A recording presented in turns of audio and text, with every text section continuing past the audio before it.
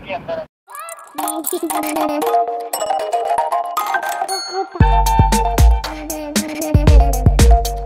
अस्सलाम वालेकुम to the new vlog of cool Chaudhary तो आज का डे स्टार्ट हो गया है जाविश को हम स्कूल छोड़ने जा रहे हैं। जावियार उसके बाद जाएगा। और लेट्स गो चलते हैं। बिस्मिल्लाहिर्रहमानिर्रहीम लेट्स गो सुबह सुबह। सुबह सुबह टाइसन निकला वॉक पे और टाइसन की हो गई फाइट वो तेरी तो। जावियार टाइसन की फाइट हो गई सुबह सुबह? हाँ। वो तेरी। टाइसन को तो कोई नहीं जानता जब हम जानते हैं। सिर्फ़ हम जानते हैं। ओके तो सो गाइस ये जावियार का बैग है। और चलें जावियार आगे आगे चलें। सो गाइस एडिटिंग हो नाश्ता हो गया एडिटिंग हो गई अब टाइम हो गया है जावियार को लेके आने का। uh, अभी नया ने उसने स्टार्ट किया तो मैं कोशिश करता हूँ कि मैं उसको जल्दी ले आऊँ। सो एक घंटा पहले ले आते हैं। चलते हैं। जावियार आज का दिन कैसा रहा आपका भाई? अच्छा। रहा? क्या किया आपने? बाबा मैं तो पाकिस्तान के फ्लैग्स बना रहा था और सजा रहा था। इसमें थोड़ा सा टाइम लग रहा था। अच्छा। आपको थोड़े से टाइम में आना था। अरे यार गलती हो गई मैं जल्दी आ गया। मैंने बोला आप शायद बोर ना हो रहे हो। मैं तो बोर नहीं हो रहा था। मज़ा आ रहा था आज मतलब? हाँ। गलती हो गई। और फ्रेंड्स बनाए आज? हाँ। कौन से फ्रेंड्स बन गए? कितने फ्रेंड्स बन गए? एक बताओ कौन सा? एक याया। एक आया और चलो भाई। मैं मैं उससे भाग रहा था। अचानक से जब मैं भाग रहा था ना तो मैं भागते भागते घास में गिर गया और मेरी चोट लग गई। ओ, नहीं नहीं कुछ नहीं होता। लग सो गाइस फाइनली जावियार तो हैप्पी हो गया मैं आपके लिए रो रहा था। मेरे लिए रो रहे थे? अच्छा आप मेरे लिए क्यों रो रहे थे बताओ। क्योंकि आप मुझे बहुत पसंद हो। मैं आपको पसंद हूँ। फिर से बता मुझे बाबा पसंद है गाइस सो गाइज़ so आप लोग टाइटल में तो देख सकते हैं ये ब्लॉग किस हवाले से था।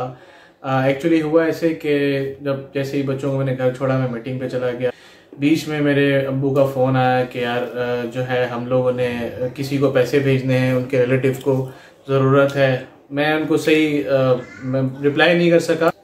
सो so, जैसे ही मैं मीटिंग से फ्री हुआ उनके बार बार फ़ोन आ रहे थे मैंने गाड़ी मुझसे कॉल ली उन्होंने बोला यार मेरे अकाउंट में पैसे आ चुके हैं आप जो है ना मेरे रिलेटिव बड़ा प्रॉब्लम है उसको आप पैसे भेज दो। आ, मेरे पास आ, मैंने बोला ठीक है आप अकाउंट नंबर दे दें उन्होंने बोला नहीं अकाउंट नंबर नहीं वो जैस कैश में मांग रहा है। जैस कैश में मेरे पास इतने पैसे पड़े नहीं थे। और लकीली मेरा अकाउंट लॉगिन नहीं हुआ नेटवर्क डाउन था तो मैं वहाँ से भी नहीं भेज सका। खैर, मैंने उनको जो है ना, जैस कैश से पैसे भेज दिए। और जब मैं घर आया तो घर आके मुझे पता चला कि यार, जब मैं, जब उन्हें पूरी स्टोरी समझाई तो मैंने तो उनको कहा कि यार, ये तो स्कैमर्स हैं, ये स्कैम हुआ है। स्टोरी बहुत लंबी है, वो काफ़ी देर तक अबू से बातें करते रहे। मैं आपको कट डाउन करके बताता हूँ। हुआ ऐसे कि मेरे रिलेटिव के नाम से फ़ोन आया, मेरे वालिद साहब के पास, और उन्होंने कहा कि मैं आपको पैसे भेज रहा हूँ। उसी के पाँच मिनट बाद एक बंदा एज अ बैंकर बन के कॉल करता है कि आपके पैसे आ गए हमारे अकाउंट में आप मंडे को रिसीव कर लीजिएगा।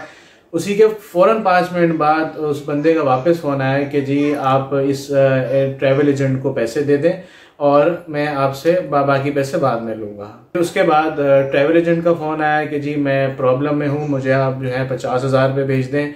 आ, मुझे ज़रूरत है तो अबू ने बोला कि पचास हज़ार तो नहीं है मैं बेटे को बोलता हूँ। सो so, अभी इसके बाद क्योंकि लास्ट कॉल जो है वो मेरे सामने आई थी और मैंने उसकी अभी आपको मैं उसका ऑडियो भी सुनाता हूँ। जो लास्ट पैसे दस हज़ार भेजने के बाद वो हमसे और चालीस हज़ार मांग रहा था उसकी कॉल आई थी।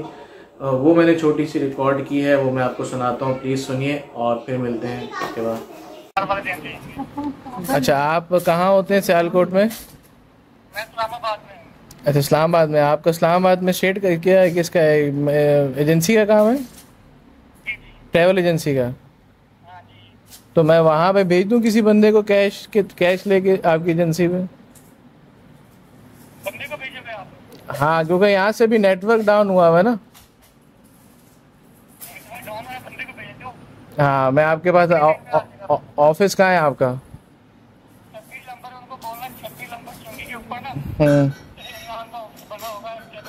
किस नाम से?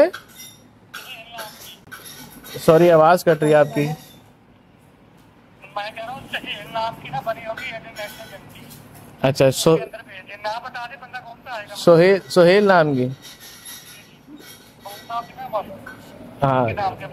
छब्बीस नंबर चुरंगी के पास सोहेल नाम के एयर टिकटिंग एजेंसी है उसके पास बंदा भेजना है।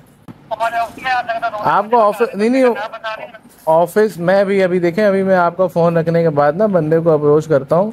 फिर वहाँ पे जो भी बंदा अवेलेबल होगा ना हमारा तो मैं उससे बात कर लेता हूँ।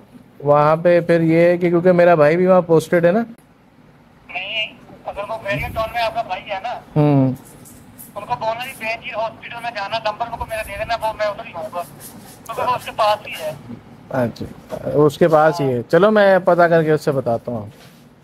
दस हज़ार तो आपको दस हज़ार तो आपको मिल गए ना? हाँ, दस हज़ार तो मिल गया है बस ठीक है ठीक है मैं बताता हूँ। हाँ। नहीं क्यों पाँच दस मिनट में क्या हो जाएगा? यार पता क्या बात है मैं हॉस्पिटल में बैठा हूँ मैं पहले भी आपको बताया। हाँ। पहले भी आप मेरे साथ बात करिए कोई और बात कर रहा था। हाँ नहीं नहीं वो मेरे वालिद साहब बात कर रहे थे। मैंने तो पहले भी बताया मुझे इमरजेंसी की ज़रूरत है ठीक है। हाँ हाँ। चलो ठीक है मैं अरेंजमेंट करके बताता हूँ आपको रुको। हाँ चलो मैं ही आपको कॉल कर लेता हूँ पाँच दस मिनट के हाँ आप पाँच दस मिनट में कॉल कर लेंगे सो गाइज़ इसके बाद मैंने अपना एक मेरा दोस्त है पुलिस में मैंने उससे बात की तो उसने बोला यार ये आजकल स्कैम बहुत ज़्यादा हो रहा है।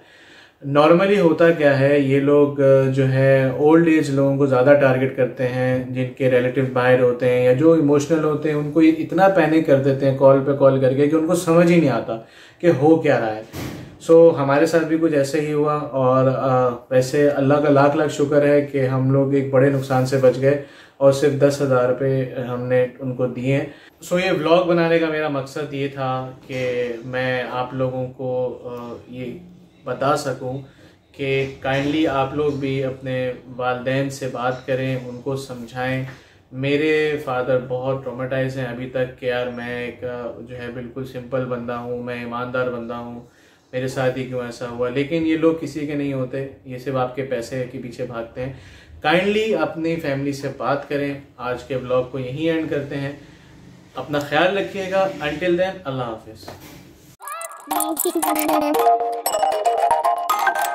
Bye.